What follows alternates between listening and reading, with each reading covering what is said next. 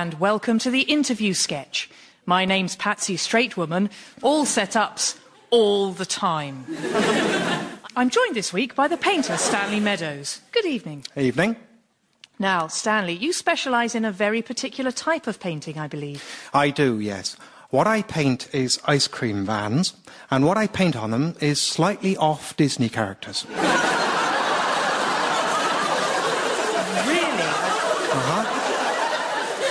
I, would have thought that the van owners themselves would have done that. No, no. Now and again they try, and what they get then is either very off Disney characters or occasionally spot on Disney characters.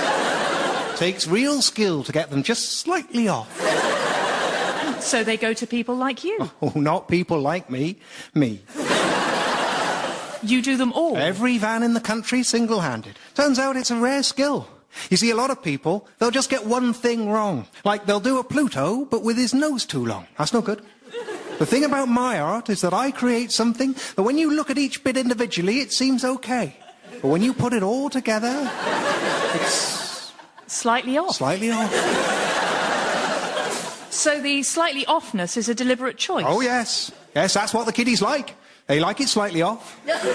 you make your Disney character too accurate, kiddies stop buying ice cream.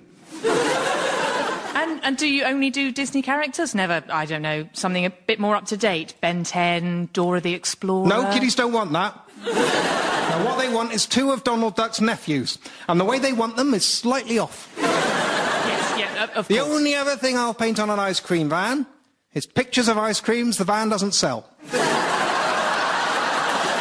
like ice cream in a bowl with cherries all over it, or that mad one in an oyster shell. But other than that, it's slightly off Disney characters all the way. So, any tricks of the trade you can let us in on? Well, one thing I like to do is use a type of black paint that fades a lot faster than the others. See, that way, after a couple of summers, your slightly off Goofy is staring out at you with blank, sightless eyes. And obviously that shifts ice cream like nobody's business. And who are your favourite characters to do? Oh, well, you know, Mickey, Winnie the Pooh, obviously, but I am also weirdly obsessed with the Seven Dwarfs. not Snow White, just the dwarfs. and ideally, not all seven of them. Just one or two of the less recognizable dwarfs hanging there in space. In fact, obscure characters in general are always a good start. I've had a lot of success with the mouse out of the Aristocats. I, I don't remember a mouse. No one does.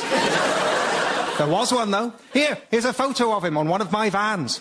Oh, right. Yeah, that's him. And my proud boast, though I say it myself, is that even though you don't know what he looks like, when you see my picture, you can tell it's Slightly off. slightly off.